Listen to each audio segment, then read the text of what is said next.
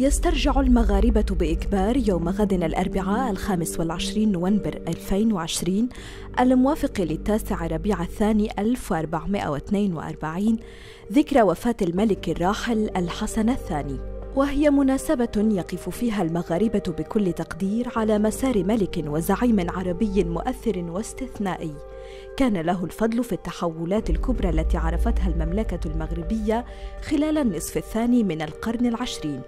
وأثر بشخصيته وحكمته وبنظرته الثاقبة في الأحداث العالمية الكبرى وخاصة تلك المتعلقة بالعالم العربي. تاريخ التاسع ربيع الثاني 1420 الموافق للثالث والعشرين يوليوز 99 900 وألف شكل يوما حزينا للمغاربة قاطبة بعد توديع ملك عاشوا تحت قيادته لمدة 38 سنة.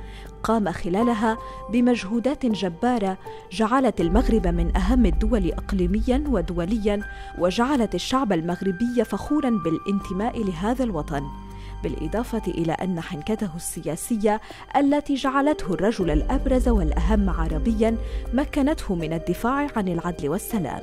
قبل 21 سنة خرج ملايين المغاربة للشارع بمختلف ربوع المملكة للتعبير عن حزنهم وصدمتهم الكبيرة بفقدان الحسن الثاني.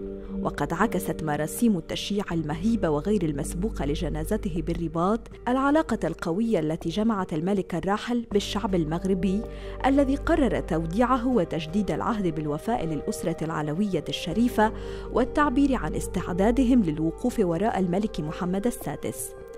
لقد حقق الملك الراحل الحسن الثاني الوحدة الترابية للمملكة المغربية من خلال فكرة وصفها العالم بالعبقرية.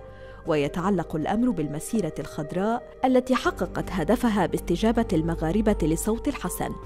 بالإضافة إلى قيامه بتثبيت ركائز دولة المؤسسات والحق والقانون وتحقيق تنمية اقتصادية واجتماعية ورياضية من خلال القيام بالعديد من الإصلاحات والأوراش الكبرى. ما جعل المملكة بلدا عصريا يحتل موقعا متميزا على الساحة الدولية نظرا لمساهمتها في إرساء السلم والأمان. اليوم يخلد المغاربة ذكرى وفاة الملك الراحل الحسن الثاني للتعبير كذلك عن حبهم للملك محمد السادس ووقوفهم وراء الأوراش الكبرى التي أطلقها منذ اعتلائه العرش.